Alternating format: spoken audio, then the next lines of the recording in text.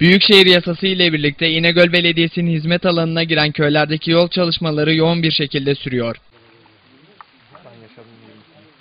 İcilerliye köyünde süren tretuar çalışmalarını yerinde inceleyen İnegöl Belediye Başkanı Ali Nur Aktaş yapılan bütün çalışmalar hakkında bilgilendirmelerde bulundu.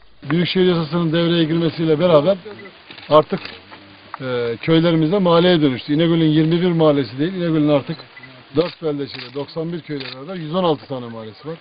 Tabi takdir edersiniz ki bundan sonra köylerimizin yani yeni mahallelerimizin ihtiyaçlarına binaen yoldan köprüye, çocuk parkından spor tesisine, efendim mesela kilit parkeden asfaltına varana kadar tüm ihtiyaçlarla alakalı e, biz de Büyükşehir Belediyesi olarak konuyu ilgilenmek durumundayız.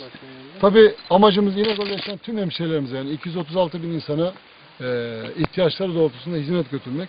E, bu hedef doğrultusunda da e, köyden dönüşen mahallelerimize şehir standartlarına ulaşmayı özellikle çok amaçlıyoruz. Seçim çalışmaları esnasında da e, köylerde yaşamı arttırabilmek, köylerdeki standartları yükseltmekten çok ciddi bahsetmiştik.